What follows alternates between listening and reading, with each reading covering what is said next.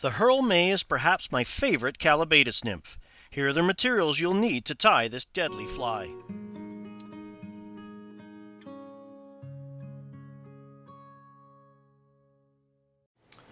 So let's tie the Herl May. I'm use some olive 70 denier tying thread. You could also use tan. Cover the hook shank tying thread. Trim off the excess. Have that good firm thread base to secure our materials on. So we're going to tie in the tail. For the tail, we're using a mottled turkey flat. And I'm going to isolate three fibers to imitate the three tongs, or tines rather, callibaetis tail. Carefully trim those. Set those aside. And the tails can be half to even three quarters of the shank length long. So loose wrap over top, a couple of wraps, and then I'm going to place one wrap right underneath. That'll help splay the tails. And then we're just going to secure the balance of the fibers down the hook shank to roughly where the thorax of the fly is going to start. And we'll just break the teeth of the feathers apart and do this at the end of the fly too.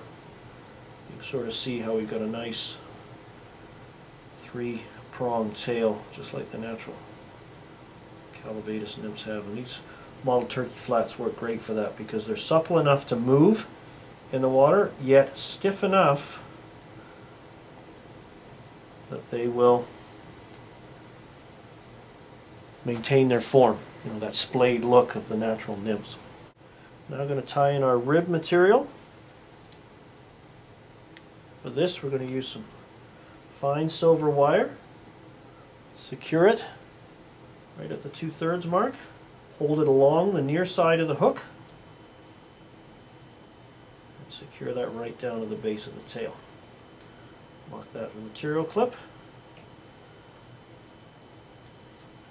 And now we're going to tie in our shellback material. And this is a, as you can see, a rather well used section of a mottled turkey quill. And I'm just going to rotate it over. I'm going to use my scissor points to remove a slip that's roughly half the gape of the hook in width. That's going to be used for our shellback. I'm going to tie that, I'm going to even the tip area, lay that flat. Sure our thread's positioned.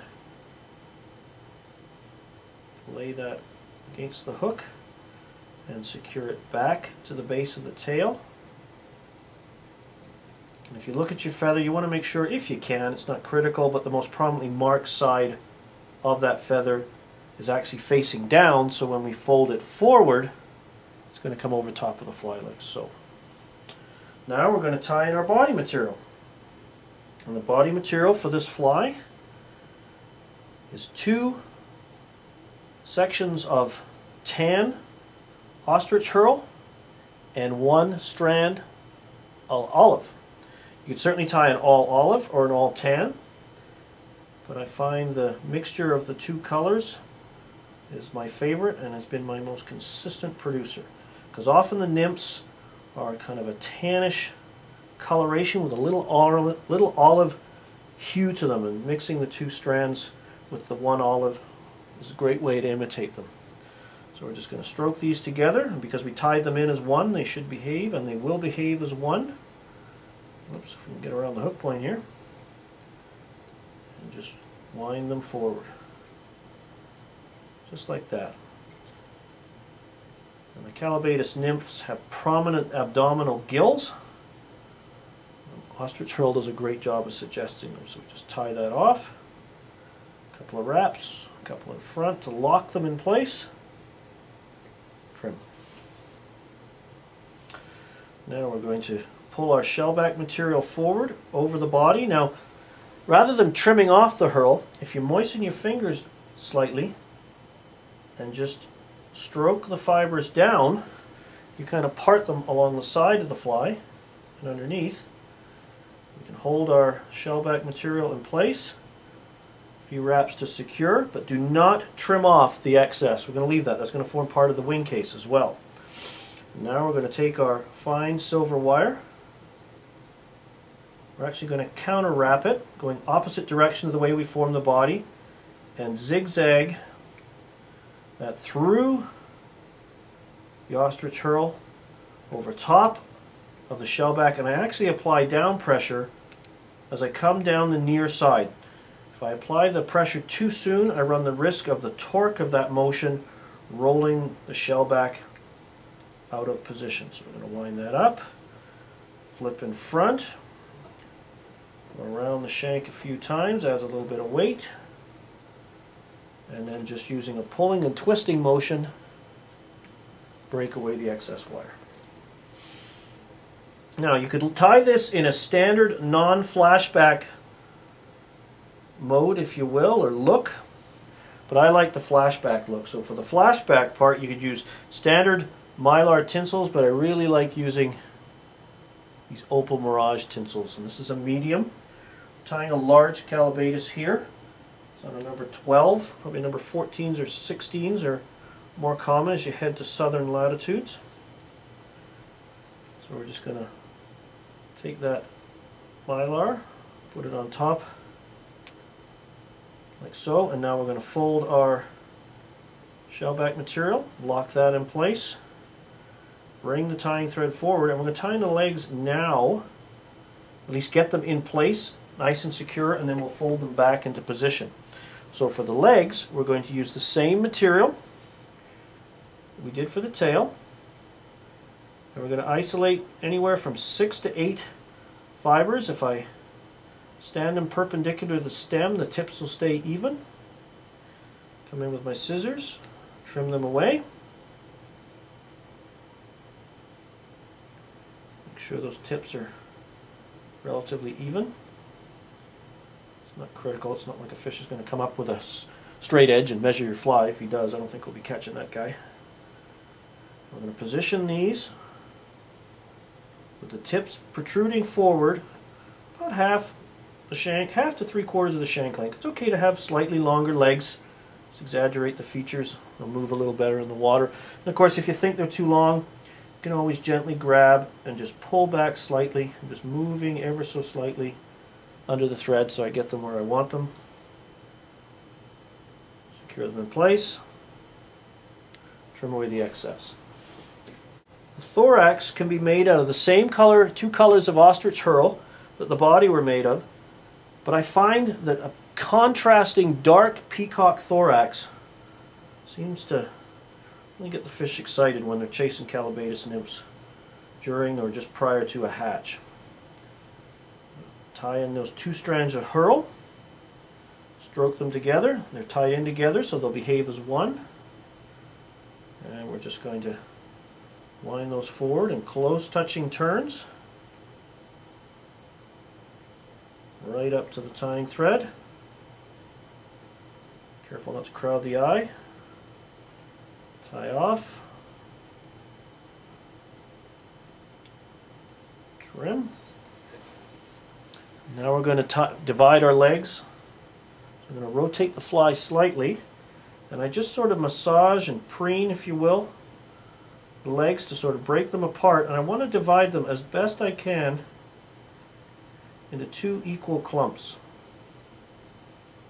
preferably three per side to match six legs common to all insects, whether terrestrial or aquatic. So we'll just fold, there's three there, and I just secure them back, and I actually apply thread tension, that actually helps flare them. So they're tucked along the side, and then I come in with a near side set of legs, and do exactly the same. Not quite happy with the position of those, so I'll just make sure they're tucked right. I want them to flow right along the side like that. Because when the mayfly swims, he'll tuck those legs along, and when he rests, he rests with his legs, his tail and abdomen arched, and his legs in an outstretched position. So that's what we're trying to suggest here. And then we're going to pull over Still not quite happy with the way those legs are. So if you're not happy, fix them. There we go.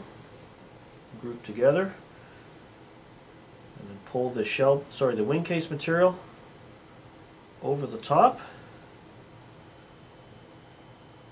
Secure. Two or three wraps.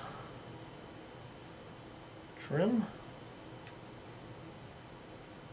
You can keep playing with the legs. And pull the opal over the top. And this again helps suggest the trapped gases that the Callibaetis nymphs use, just like chironomid pupa, to help elevate their way up to the surface to hatch. And then their final transformation to winged adult. As that thorax splits open, those gases escape and help the adult inside emerge, kind of get shot out, if you will, from the nymphal shuck. And now we're just going to whip finish, and the tying portion of our herl May is done. Just build a nice, neat head.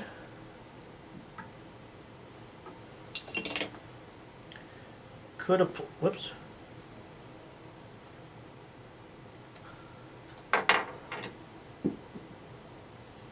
See the legs are outstretched. We've got nice splayed tails. We have one final step to do, so let's do that. So what we're going to do is to reinforce the head area and the top of the thorax and the wing case is put a clear coating on it. An epoxy substitute, this UV clear fly finish is excellent. We're going to use our dubbing needle to apply that, so just put a little drop on the dubbing needle. Can always add more. Just on top. And this is just thick enough that it won't run all over the place. And thin enough that it'll sort of just let it sit for a few seconds. It levels itself out nicely. You don't need a lot. And then you just come in with the UV light appropriate to the product you're using and just let it sit there for a few seconds.